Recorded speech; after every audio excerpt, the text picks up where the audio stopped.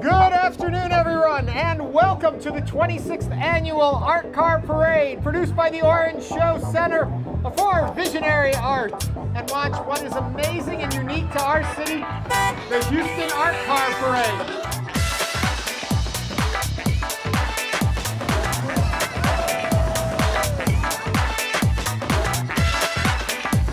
Car parade is a bunch of vehicles, normally on four wheels, that people have embellished. Mobile creativity.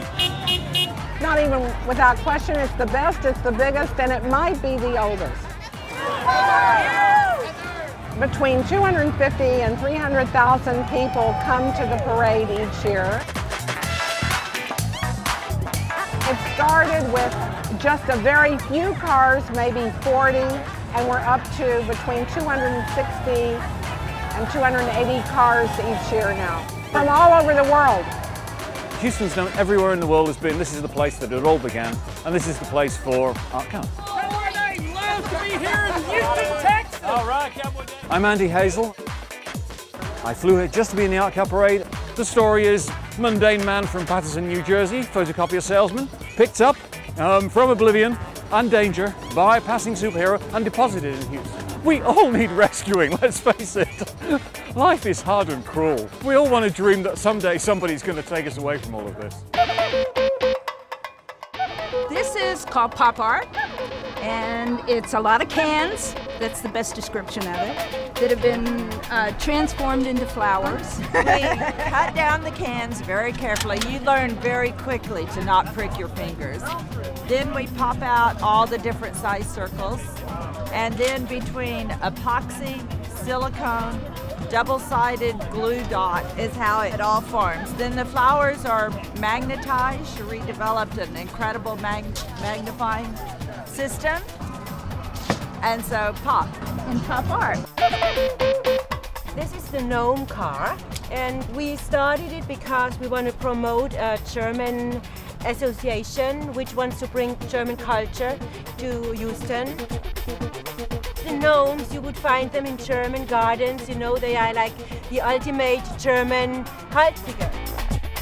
They express some kind of humor and uh, irony, which we like to use because we Germans, we are, we can be funny.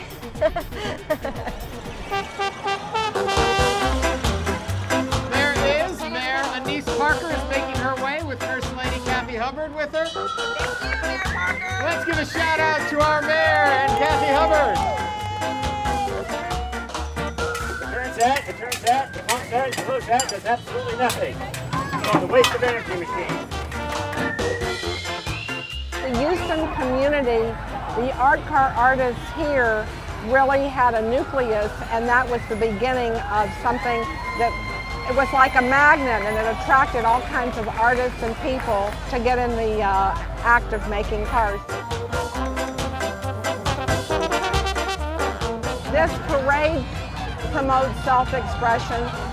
Your car is your canvas, your bike, your lawnmower, whatever you want can be that vehicle for you. And you're free to express it here, and everybody loves it. It's contagious. It's the spirit of entrepreneurism, of expressing yourself and doing what you want to do is part of this, and that's part of Houston. I'm an art teacher. We had probably 100 kids off and on working, putting beads on, plus members of our community, my children, the neighbor children, policemen. The beads came to us as a donation, and we had to physically take them off of the necklace and putting them on piece by piece. Our car theme is things that go bump in the night. So our idea was the students brainstormed and everybody came up with a different creature that they wanted to put on the car. So we wanted to represent everything that's dark and scary and creepy at night. We have a seven foot five werewolf. We also have a zombie on the side, so hopefully none of you will get bitten by her because if you do, you may not leave this parade alive.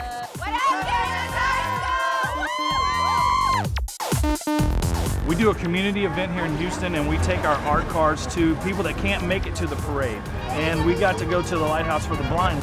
They were feeling their way around the car and I would, I would take someone's hand up here and I would say, this guy, he was on TV and he's got a big belly and he would say, hey, hey, hey. And they loved that. And they were like, a Fat Albert. So it's just really cool that you can share your car in that way with other people.